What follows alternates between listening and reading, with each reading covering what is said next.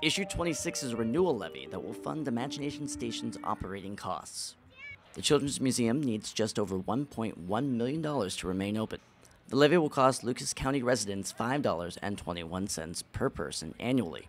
Imagination Station receives 41% of their overall revenues from public funding. Imagination Station's communications and PR manager, Anna Collins, says they applied for the renewal a year early because election years usually have higher voter turnout.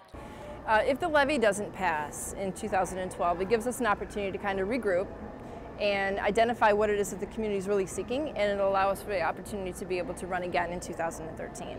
Critics of the levy do not question that the Science Museum is good for Toledo, but argue that taxpayers may have other priorities. Former Lucas County Commissioner Maggie Thurber believes voters should vote no on every issue on Tuesday's ballot. One of her complaints about issue 26 is that the museum is a nonprofit organization. It's one of the only nonprofit entities in the entire state that can actually put a levy on the ballot and ask for taxpayer funds through the ballot. The two sides are in a stalemate over which decision is best for Toledoans. While Lucas County may be split on issue 26, both sides can agree with Hillsdale Academy science teacher Judy Murray that Imagination Station is a unique place.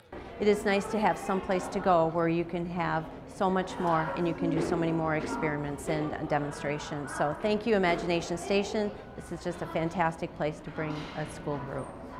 If issue 26 fails to pass during this election, then the Imagination Station will have to come up with a different method to sway Lucas County voters to their side and avoid ending up like COSI. For UT10 News, I'm Sean Downs at the Imagination Station.